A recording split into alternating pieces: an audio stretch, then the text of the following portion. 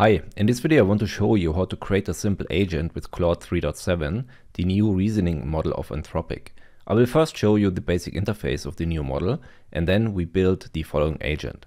We first want to classify how difficult the question is. Based on the result we want to use Sonnet 3.7 with reasoning for hard questions and a less expensive model for easy questions. If you're interested in the code, you will find that in the description. Okay, I'm now in VS Code and as you can see, I'm in the Anthropic 3.7 agent IPython notebook.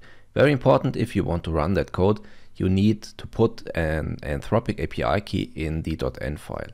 In the first line, we load that API key and if you can read it through, then this uh, worked as expected. In the next line, we load the chat anthropic class from the langchain anthropic package. If you don't have it, then please run pip install langchain minus an anthropic to install that package and now you should be able to import it.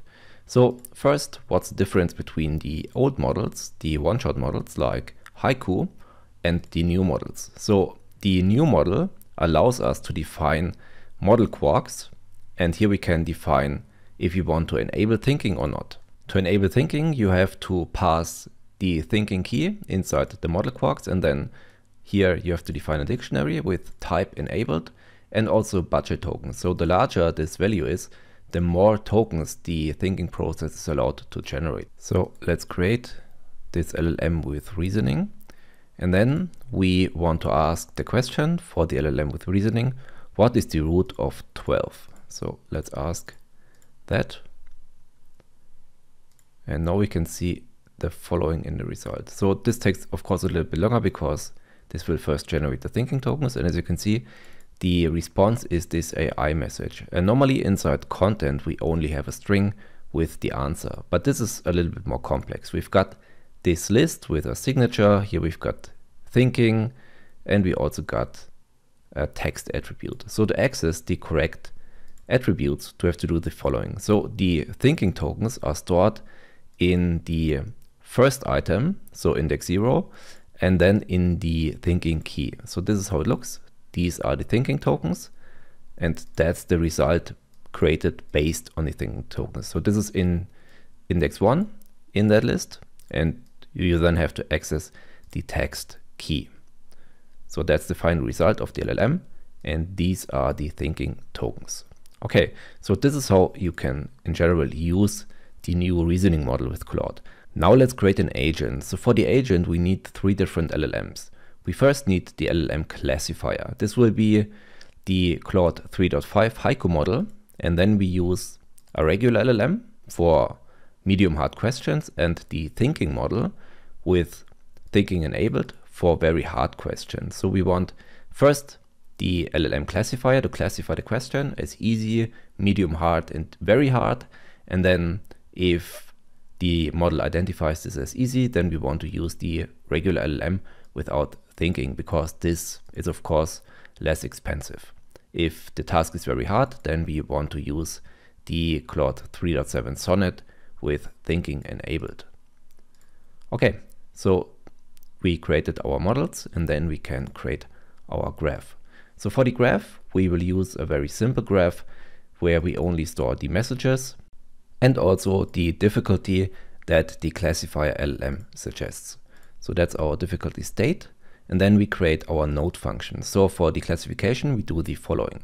So we extract from the messages the very last one and from that the content. So we get the question and then we use a system prompt. You are a difficulty classifier. Classify the user question into exactly one of these categories. Easy, mid, hard and very hard. Only return a single word. And then we create our human prompt, we create a chat prompt template from that, and we use structured output where we pass in this difficulty grade. So this is what we want to return from the LLM. And then we gonna store the result in the state object where we access the difficulty uh, key. And then we return the complete state. So this is how we perform the classification. And then based on the classification result, so we access the difficulty again, if it's very hard, then we want to return a string called thinking and otherwise regular. And based on the string here, we want to route to the LLM with thinking and to the LLM without thinking. So let's execute that. And here we've got two call model methods. These are pretty similar. So we extract the user prompt from the state object, and then we pass that user prompt to the thinking model or to the regular model. So this depends on what the router returned. So let's create a node for regular and for thinking model. And then based on that, on all of that function, we can create our nodes.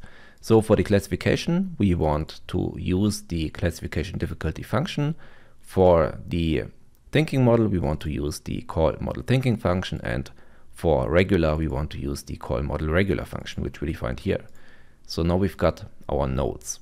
And we, of course, have to use that router function. So this is how we can use it. We can define a conditional edge and you have to read it like the following. So from the classified difficulty node, we want to route based on the output of that function. So if the route based on difficulty returns thinking, then we want to route to the call model thinking node, which is this. Otherwise, if the string is regular, so again, this is what return thinking or regular, then we want to use the call model regular node. So this is how it works. And at the end, we want to route to an end node. So our workflow is finished. Then we can compile our graph and execute it. So first, I'm going to show you how it looks like. This is what you saw in the introduction. So we start with a start node, then we classify, we route to regular or thinking model, and then we route to the end node. So pretty simple, but this is how you could, based on the difficulty of the question, route to different nodes. Okay, let's try it out. So the first question is, what is 2 plus 2? I think this uh, is a pretty easy question and the classifier model graded the question as easy. Okay, so the second question is, could you provide a detailed proof of Fermat's last theorem? To be honest, I have no idea what that actually is, but uh, ChatGPT told me that's a very difficult question. So let's see if Anthropic sees it the same way. And this takes much longer. As you can see, this is quite fast. So this does not use reasoning, but in this case, it takes some time. Okay, so this took 12 seconds and we can now see that the difficulty was rated as very hard. So ChatGPT was actually correct. And here we can see that's the result, AI message, which is that list. And here we can see this is the thinking tokens. And here also is the content. So if you want to access the result, you could also do it like we did at the beginning. So we could pass or extract that from the agent state. So we could save that in result and then we access the result like this. So this, that's not enough because we use an agent here. Okay, so I had to rerun it because I had to save it in result, of course. And now we can access it like this. So this is how it looks like. So result, and then we access messages, and then we access the first uh, index 1 because we want to access the AI message.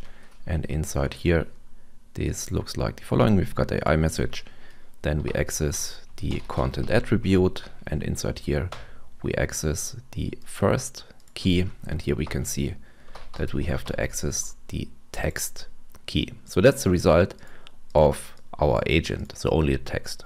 Okay, that's it. So great that LangGraph already integrated that into their library. So have fun with exploring the new Claude model. I will see you in the next video. Bye bye.